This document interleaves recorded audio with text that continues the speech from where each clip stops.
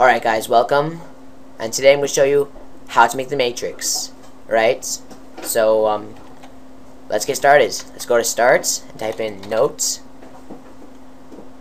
I'm just going to pause and get notepad up. You guys know what to do. Just click notepad once the search results are done. Alright, here's notepad. Now I'm just going to go into here. I'm going to type the following code. Right, here it is. At echo space off color space 02 colon starts echo percent random percent and just add that uh, 10 times should do a trick no more or no less than 10 and then type go to start and I'm just gonna file save as and here's the most important part this code is nothing without this part. Alright I'm going to wait for it to come up. Now I'm going to save it as should probably do this part first. Okay, one second, it's just really slow. Like, really slow.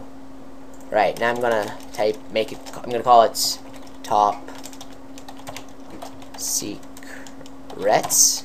And then I'm gonna put dot B A B A T. Ah, damn. B A. My B's not working. What's up with that? Why is my my control on or something? One second.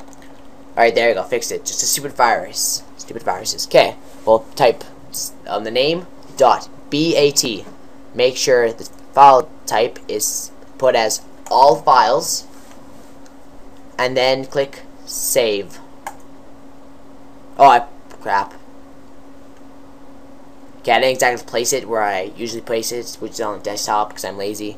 So I'm going to fix that up right Alright, here we go.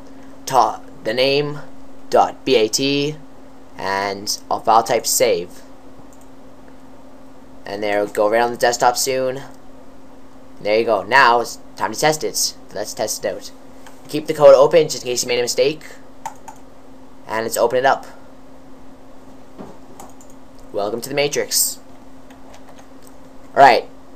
Now since my cat my uh, screen recorder is very very uh, pro um, RAM hungry this is very slow. The matrix is very slow right now. But once you start this up, like without any recording, stuff like that, this thing will zoom down your page. You won't be able to even read this. And it looks really cool, actually. I got two minutes, alright? Right now, it's just really slow.